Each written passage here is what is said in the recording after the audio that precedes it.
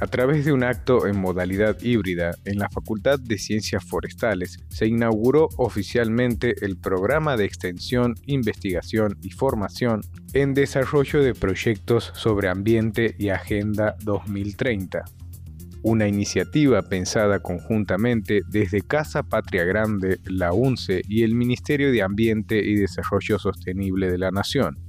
Estamos hoy acá en Santiago del Estero, en la Universidad Nacional, para lanzar el programa de extensión y formación sobre ambiente y desarrollo sostenible. Este es un programa que trabajamos durante varios meses para las juventudes de América Latina. Hay ocho países que forman parte de este programa de formación, donde esperamos que de acá fin de año puedan trabajar no solo en formarse en ambiente y desarrollo, sino que además presenten propuestas para todo el país para tener un futuro y un mundo mucho mejor.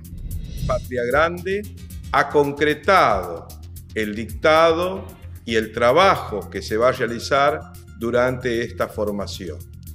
Y en particular estamos hablando de ocho países de nuestra Latinoamérica. Esta patria grande ha sido concebida con un sentido geopolítico y que también ha producido a lo largo de los años grandes avances, fundamentalmente en el acceso a los derechos de nuestras poblaciones, pero hoy apuntado hacia las juventudes.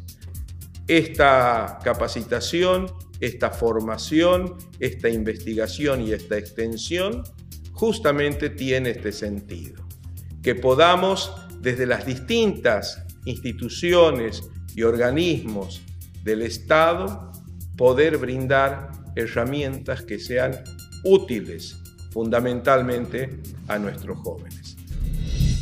Autoridades de la UNCE recibieron la visita de representantes de Casa Patria Grande. El ingeniero Héctor Paz, junto a integrantes del gabinete de rectorado, mantuvieron un encuentro con Matías Capeluto, presidente de Casa Patria Grande, organismo perteneciente a la Secretaría General de la Presidencia. Asimismo, hicieron lo propio junto a Juan Tahuil Guerrero, Juan Bautista Infante y Ariel Martín Sorribas con quienes hicieron hincapié en el objetivo de trabajar con y para las juventudes. De esta manera se intercambiaron ideas y se trazaron futuros compromisos para seguir colaborando en pos de proyectos sobre el cuidado del medio ambiente y objetivos de desarrollo sostenible. Iniciaron las actividades previstas en el proyecto de extensión y transferencia de la UNCE denominado Un día en la vida de un científico en Santiago del Estero.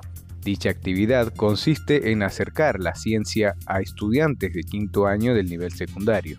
De esta manera, se llevarán adelante charlas en los espacios de nuestra universidad con vistas a organizar una visita para conocer los laboratorios del Centro de Investigación en Biofísica Aplicada y Alimentos, un instituto de doble dependencia CONICET-UNCE. Este proyecto está dirigido por la doctora Ana Ledesma, docente de la Facultad de Ciencias Exactas y Tecnologías, junto a la doctora María de Los Ángeles Frías, investigadora del CONICET.